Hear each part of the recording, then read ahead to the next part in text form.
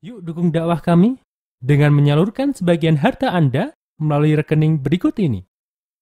Jazakumullahu khairan.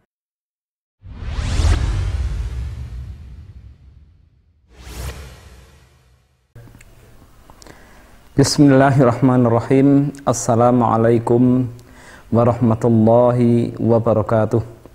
Alhamdulillah wassalatu wassalamu ala Rasulillah wa ala alihi wa ashabihi wa mawalah amma ba'd. Kaum muslimin wal muslimat yang dirahmati Allah Subhanahu wa taala. Kita saat ini sedang diuji oleh Allah Subhanahu wa taala dengan adanya wabah COVID-19 ini sehingga mengharuskan adanya anjuran dari pihak waliul amr juga disetujui oleh para ulama agar kita mencukupkan diri sholat tarawih sholat berjamaah sholat fardu juga yang lain-lain di rumah saja.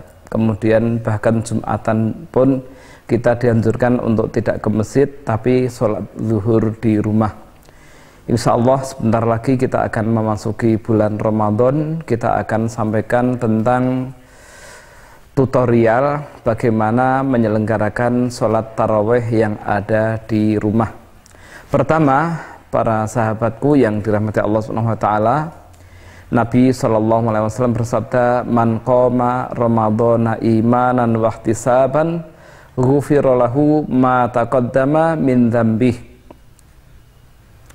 Barang siapa mendirikan qiyamul lail atau salat tarawih di bulan Ramadan dengan alasan karena iman yaitu diperintah oleh Allah, dicintai oleh Allah, wahtisaban juga mengharapkan pahala maka ghufirlahu ma taqaddama min dzambih. Dosa-dosa dia yang telah lalu diampuni oleh Allah taala dalam hadis ini Nabi tidak menyebutkan man qoma ramadhana fi masjidin. Barang siapa sholat tarawih di masjid tidak. Tetapi man qoma ramadhana saja.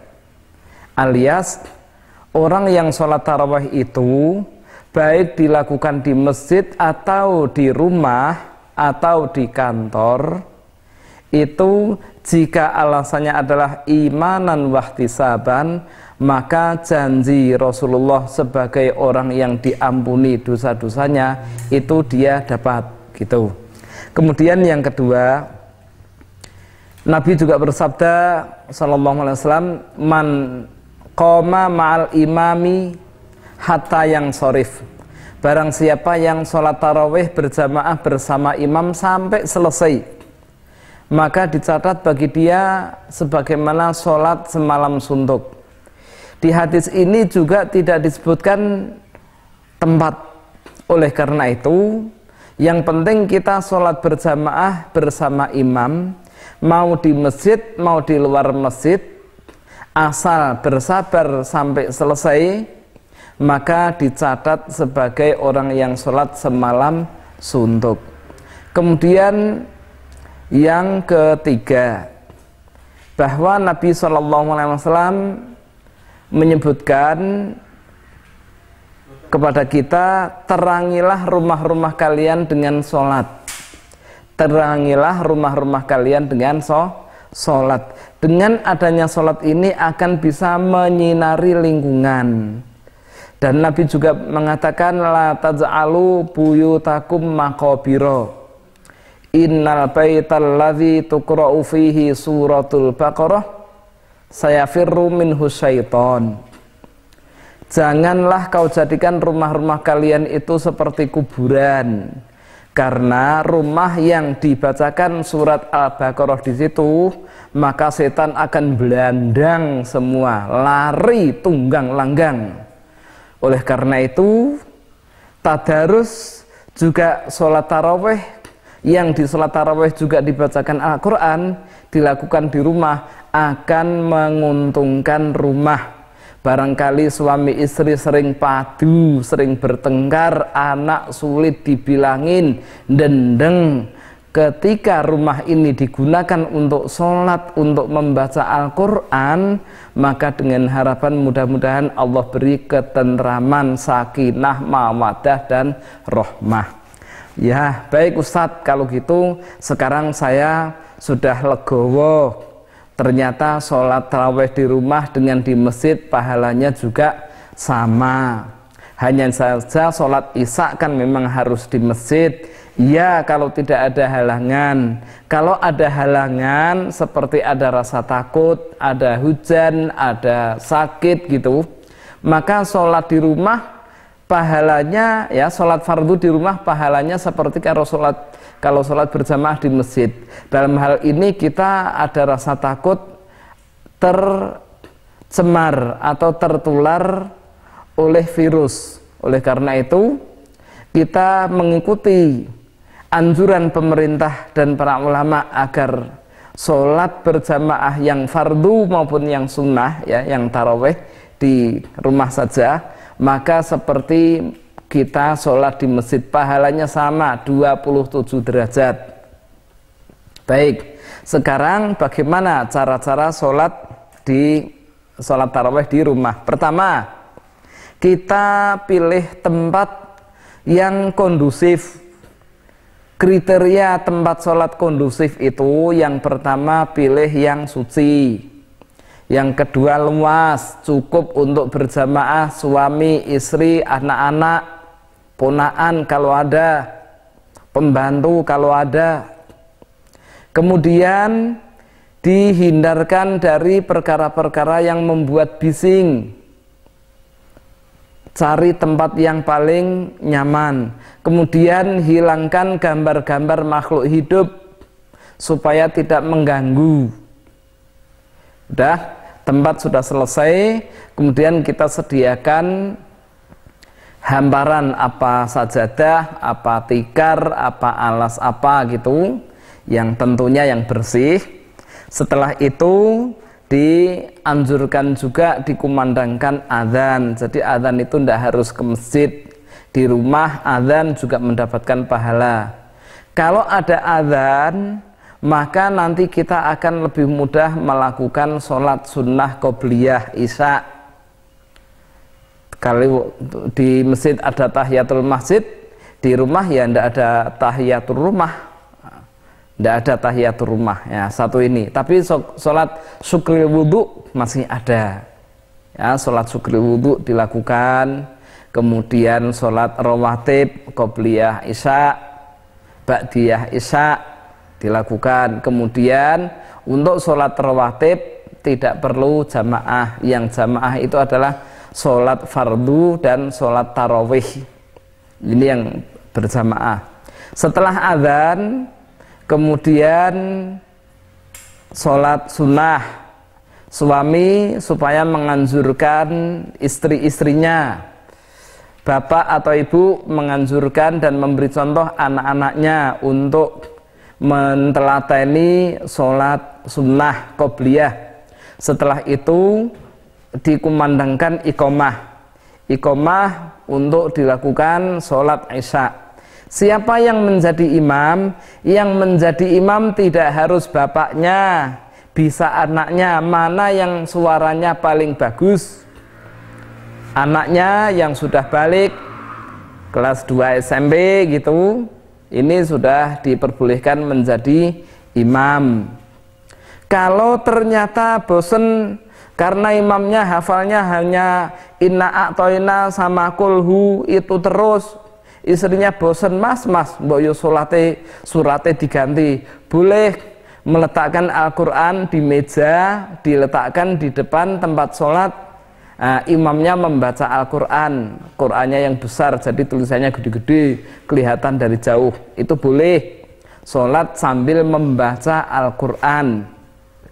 Kemudian setelah itu pahamkan kepada jamaah dalam hal ini anak-anak dan istri-istri agar kalau di masjid itu sholat agak lama takut digerunengi makmume nah, kalau di rumah itu difahamkan kepada mereka latihan sholat yang agak lama. Misalkan rokaat yang pertama dari sholat taraweh dibacakan surat Sabihis Marbikal A'la. Kemudian rokaat kedua dibacakan wadduha kemudian begitu seterusnya. Sehingga sholat dengan cara seperti ini kalau bacaan rukuk sujudnya dibaca secara wajar itu setengah jam itu bisa selesai. Tetapi kalau ada yang ternyata imamnya sudah hafal surat Yasin, boleh membaca surat Yasin. Rakaat pertama, rakaat kedua membaca surat Waqiah, boleh diupayakan sholat yang agak lama. Terus bagaimana sholatnya? Ya, setelah sholat isya selesai, kemudian zikir, zikir selesai, kemudian sholat ba'diyah isya, setelah sholat ba'diyah isya, kemudian tidak ada asolatu jamiah tidak ada komat kalau mau sholat taraweh nah, terus bagaimana aba-aba ya kalau imamnya berdiri ya makmumnya faham itu kan mau sholat taraweh dimulai. Ayo diluruskan softnya. Untuk yang laki-laki berada di depan yang perempuan di belakang. Menurut riwayat Anas bin Malik radhiyallahu taala anhu, kalau makmumnya hanya satu ya, karena imamnya bapaknya, anaknya masih di luar semua, yang ada di rumah hanya yang laki-laki hanya satu, berarti makmum laki-laki satu, maka tempatnya di sebelah kanannya imam, adapun para wanita berbaris di belakang laki-laki. Kalau makmumnya ada dua, maka imamnya paling depan, kemudian dua orang yang laki-laki menjadi membuat soft pertama. Lah nanti soft yang kedua adalah istri-istri dan anak-anak cucu-cucu yang wanita. Baik, ini dilakukan Caranya dua rakaat salam, kemudian dua rakaat lagi salam, setelah itu istirahat kalau memang sholatnya panjang. Setelah istirahat, ya mungkin mau ngeteh atau ngopi atau nyingkong atau makan atau sekedar tiduran, pijetan juga ada apa-apa. Nah, setelah kira-kira mereka siap, lanjutkan untuk sholat yang ketiga. Sholat yang ketiga tidak usah dia bapak Sholat ketiga gerak tidak perlu. Jadi langsung sholat dua rakaat salam. Lalu sholat lagi dua rakaat salam. Setelah itu istirahat lagi. Nah setelah istirahat uh, cukup, kemudian imam memberitahu kita akan sholat witir. Sholat witir bisa dilakukan dua rakaat salam, kemudian satu rakaat salam, atau langsung tiga rakaat salam. Mengingat sekarang ini masa-masa wabah, kalau para ulama itu biasanya menekankan witir itu supaya pakai kunut.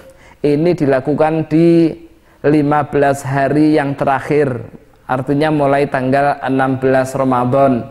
Tetapi kalau mendesak seperti ini, ulama membolehkan witir itu dimulai dari malam pertama bulan Ramadan.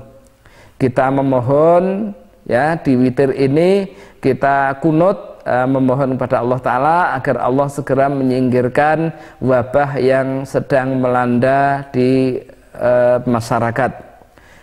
Saudaraku seiman yang dirahmati Allah Subhanahu wa taala, ini sekilas tata cara sholat taraweh di rumah yang jelas perlu kita ingat kita perlu bersabar dan tidak usah emosi dan tidak usah penasaran mencari berita sana sini cukup kita memperbanyak sholat membaca Al-Quran zikir, istighfar, taubat diam di rumah Semoga dengan cara seperti ini Allah memberikan banyak kebaikan yang di luar dugaan kita.